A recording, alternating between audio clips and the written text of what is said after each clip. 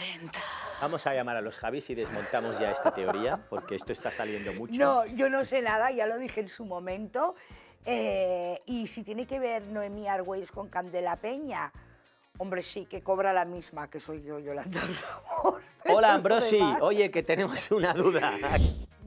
Bueno, hemos rememorado viejos tiempos porque los, los seguimos rememorando, pero creo que, mm, que hemos ido más allá, que más que rememorar, eh, hemos disfrutado de este reencuentro, porque al fin y al cabo nosotros no- nos conocimos en Homo Zapping, nos conocíamos antes, pero Homo Zapping fue un momento importante en nuestras vidas, luego nuestras vidas eh, profesionales se fueron separando, aunque personalmente siempre hubo los momentos de contacto, y para mí reencontrarme con Yolanda no, no solo era maravilloso, sino que era necesario, porque yo necesitaba que esta serie la protagonizara ella, en el personaje de, Gracias. de Candela Nieto. De nada, pero es cierto, porque además, por las historias que quería explicar, por cómo querías es- explicarla y por el tono que va un poco de la comedia al drama y del drama a la comedia, necesitaba hacerlo con ella, que después de aquellos años de Homo Zapping, pues ahora es otra actriz, que está en otro momento, que tiene otras herramientas, incluso en otro momento vital. A mí me pasaba lo mismo y necesitaba que, que eso fuera un viaje en común,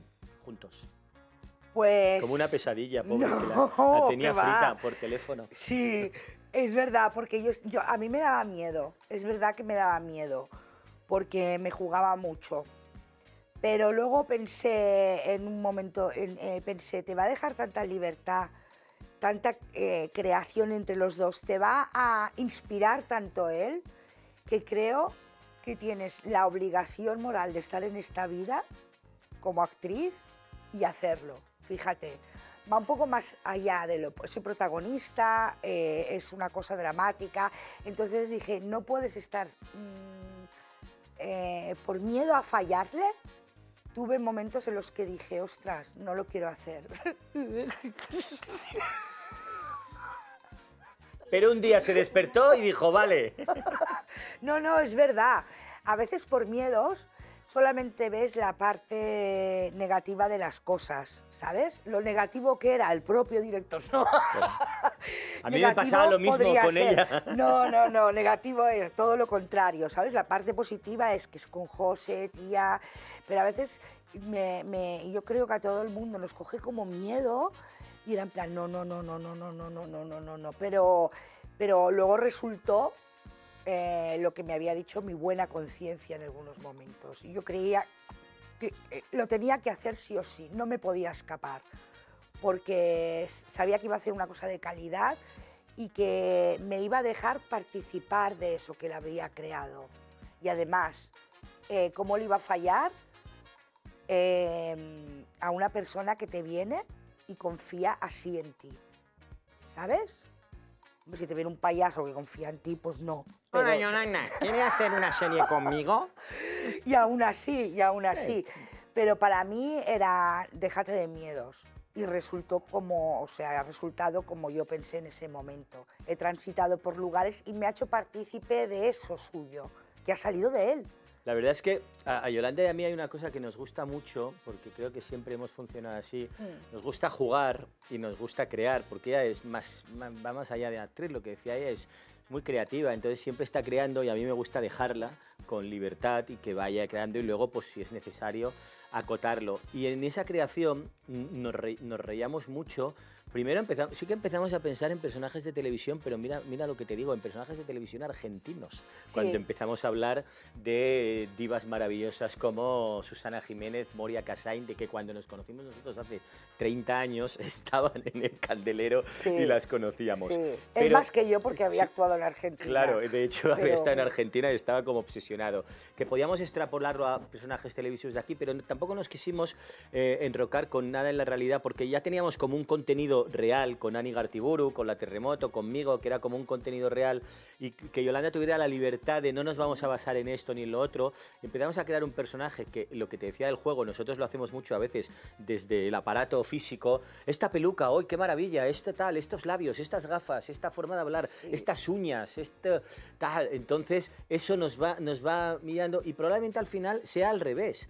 Se acabe pareciendo ese personaje a gente real o que, ay, pues me recuerda a esta o me recuerda al otro, cuando nosotros hemos partido de, de la, de la vida o de, o Mm. gente incluso que te has cruzado por la calle y una señora sale y dice, hola, oye, perdona, ¿sabéis dónde está? Y Yolanda dice, ay, pues podíamos hablar como esta. Sí, Ay, sí, sí. Pues es cierto. Curiosamente igual es un viaje inverso al de Homo Zapping, donde cogíamos a personajes reales como Belén Esteban en su caso o María. Teresa Campos y ella hacía un personaje con vida propia que al final no tenía nada que ver con las originales.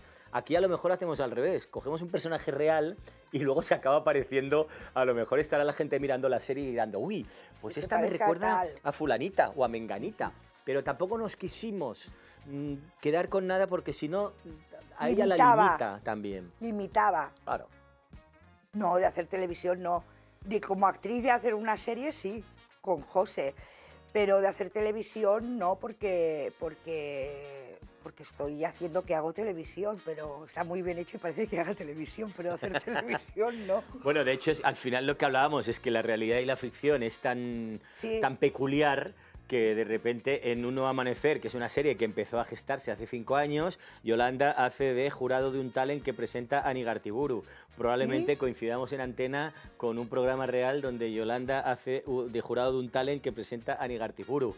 No está basado en hechos reales porque Un Nuevo Amanecer empezó mucho antes, pero al Sí, final eh, nos gusta mucho trabajar en algo que de repente pueda la gente Mm. diga, wow, pero ¿esto qué es? Parecen los dos lados del espejo de sí, Alicia. sí, sí. Lo que hay que descubrir es si el País de las Maravillas está en la realidad o está en la Si es ficción. que ha sido, ha sido una cosa como muy peculiar, Claro. ¿sabes? Que yo haga eso hace unos meses ya y hace poco me llamen y me digan, vas a hacer del jura- de jurado de un programa donde está Ana Igartiburu.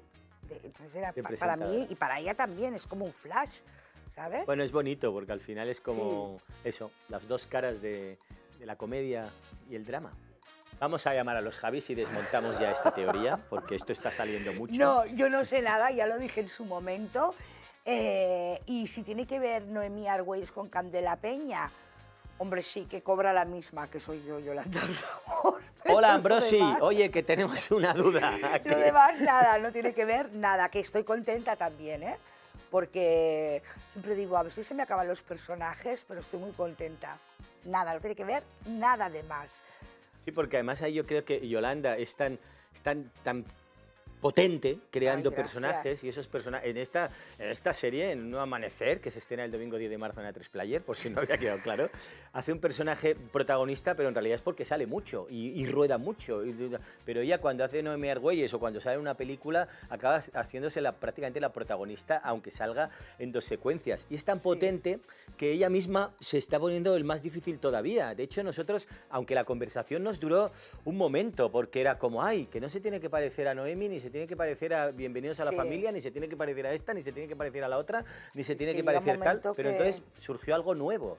De repente... Sí, pero me ayudaste mucho tú, ¿eh? bueno, claro, porque ahí hay que ayudarla porque es que de repente es, es como ya su, su carrera acaba siendo un campo de minas de Sí, personajes sí, que, que tiene que crear ya- uno nuevo, pero luego sale la magia y a base de trabajarlo y de ver y de ver el look. Pero eso te lo debo de a ti también, lo de la magia. Claro, bueno. Es hablar constantemente, o sea, prejuzgamos y criticamos a todo el mundo, entre comillas, ¿sabes? De decir, pues hay una en mi barrio que no sé qué, ja, ja, ja.